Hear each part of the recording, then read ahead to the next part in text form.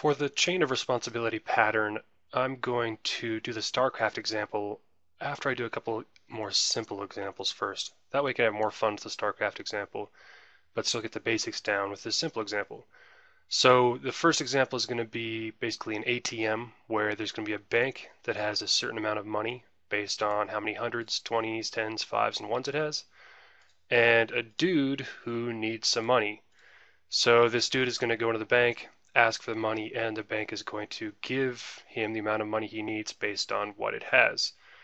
Now you can imagine doing uh, a big long if else statement, you know, if the bank has enough hundreds, then do this, if not, then do that, if it has 20s, this, that.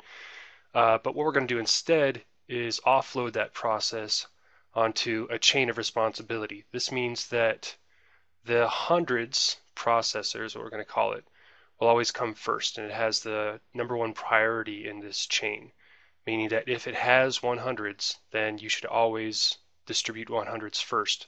Then once it runs out of 100s, it's going to go to the 20s processor. And then once it runs out of 20s, the 10s, and then the 5s, and then the 1s.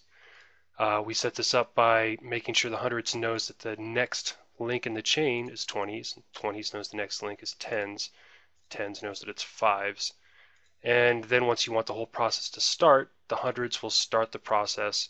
And then I just put it in a while loop. While the dude still needs money and the bank still has money, then send it through this uh, this chain, this this process of uh, what's called a chain of responsibility.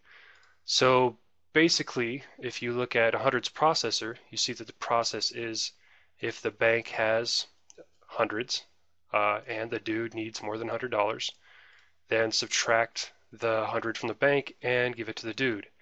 Now, if this isn't the case, if the bank either runs out of hundreds or the dude needs less than $100, then uh, the process will head over to the super, meaning that uh, instead of working through the hundreds, it'll find the next link in the chain. In this case, if you remember, it's the 20s, and it'll send the process on to the next link and you can see in the 20s that if if the bank still has 20s and the dude needs more than 20 bucks, then give him 20s, and the process continues um, until he's been completely paid off, and at that point, you know, the bank doesn't need to give him any more money.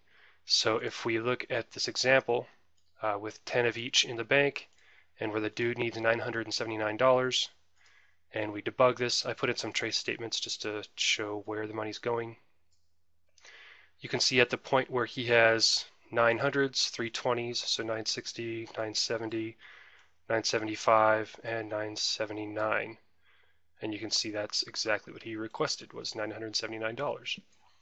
And if you look back through the history, you can see that first he got 100, then another 100, then another 100, then 4, 5, 6, 7, 8, 9, and then it went on to 20s, and then to 1s, and then to 10s and 5s and 1s.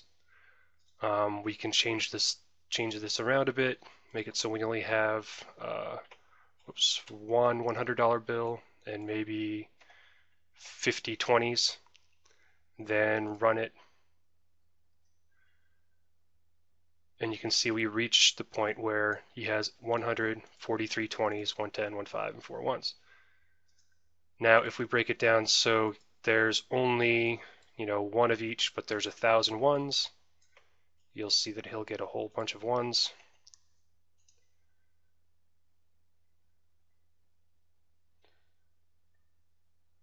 And there we have, he has 1 100, 120, 110, 15, and 844 ones.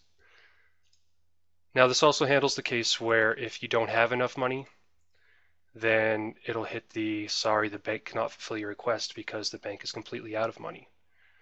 Now I will go into more on how to build this in the next example or in the next video and then after that I'll start working towards a, a fun little StarCraft example. So thanks for watching.